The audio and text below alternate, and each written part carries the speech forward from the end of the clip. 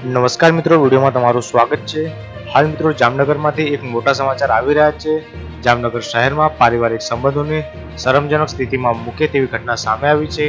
જામનગરમાં એક પુત્રવધુએ પોતાના સસરા ઉપર સંબંધોને શરમસાર કરતો આરોપ લગાવ્યો છે. જામનગરમાં પુત્રવધુએ તેના સસરા પર દુષ્કર્મનો આરોપ લગાવી અને પોલીસ ફરિયાદ દાખલ કરી છે. શહેરના ખૂબ જ સંપત્તિવાન ગણાતા વિસ્તાર કેતન સોસાયટીમાં રહેતા એક પરિવારની પુત્રવધુએ પોતાના સસરા પર ત્રણથી ચાર વખત તેના પર દુષ્કર્મ કર્યું છે, તેવી ફરિયાદ દાખલ કરી છે.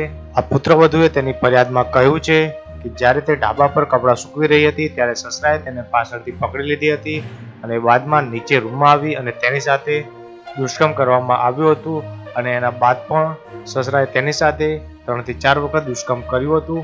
હાલ મિત્રો, આ મામલે પોલીસ તપાસ કરી રહી છે અને આલા સસરાની ધરપકડ કરી દેવામાં આવી છે અને પોલીસે તેની આગળની કાર્યવાહી હાથ ધરી છે.